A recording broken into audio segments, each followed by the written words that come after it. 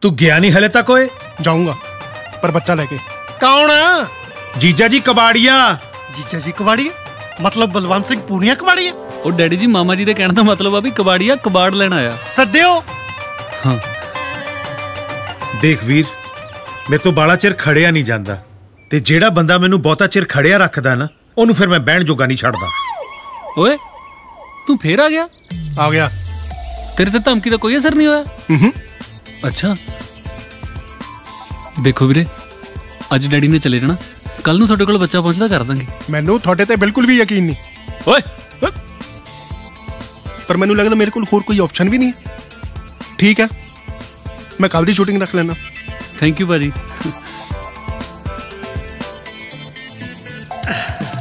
Daddy ਜੀ ਕੁਝ ਦਿਨ ਹੋਰ ਰੁਕ ਜਾਂਦੇ।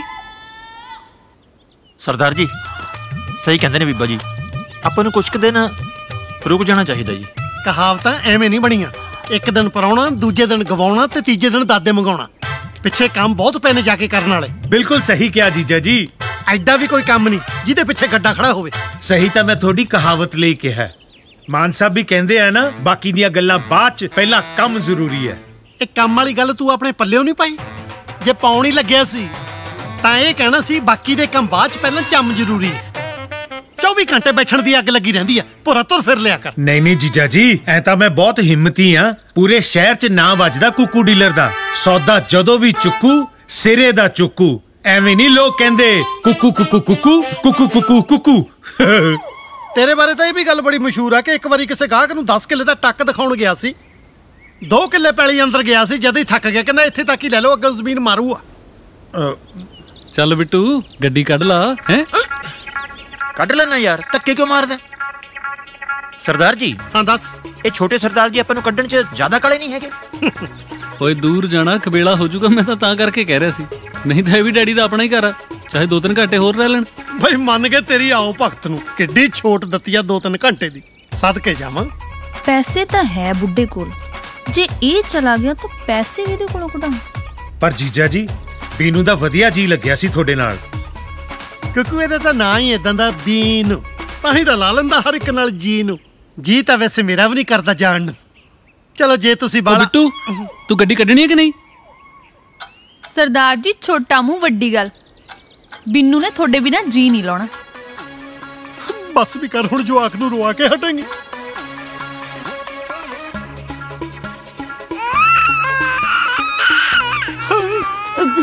ਸੱਚੀ ਰੋਪਿਆ ਜੀ।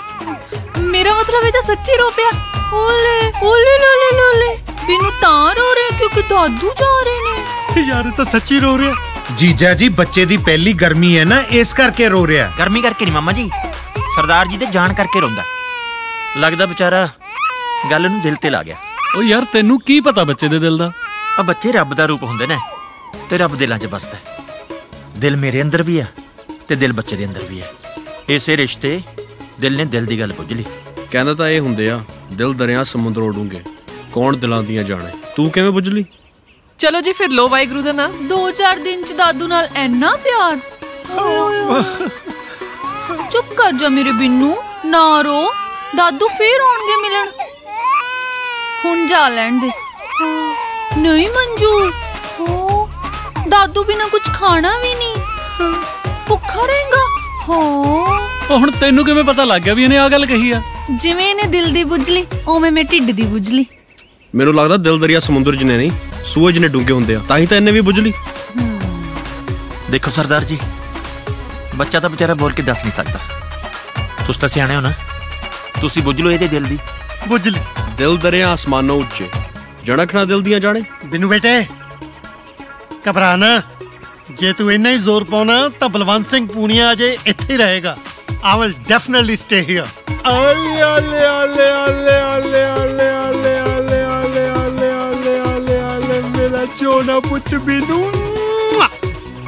ਮਰ ਗਏ ਭੋਲੇ ਓਲੇ ਓਲੇ ਓਲੇ ਓਲੇ ਓਲੇ ਓਲੇ ਓਲੇ ਓਲੇ ਓਲੇ